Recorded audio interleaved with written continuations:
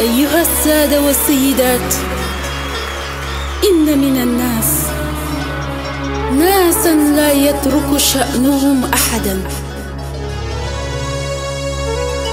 غير مكترث بل يحرك الكل في الكل. وذلك لكبر نفوسهم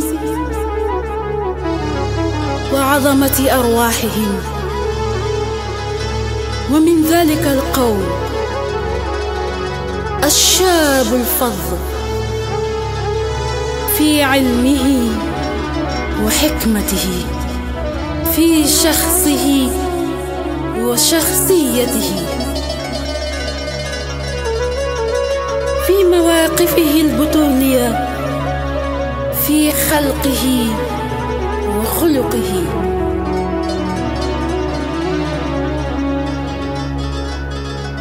فأعني به. ميما وصادا بطائه. وفاء. فمقصورا. له كل سؤدد. السيد محمد المصطفى المرشد. فأهلا وسهلا بالزعيم ومرحبا. وبالقائد الأعلى الكريم المجدد.